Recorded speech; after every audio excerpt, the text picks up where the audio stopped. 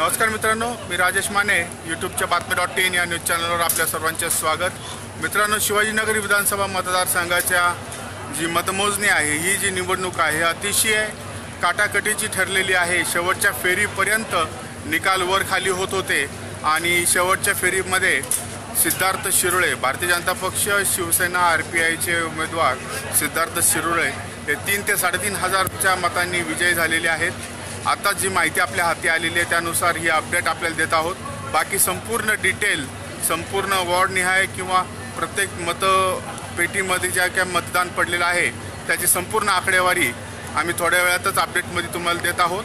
सिद्धार्थ शिरोळे हे भाजपचे शिवाजीनगर मतदारसंघातनं विजय झालेले आहेत.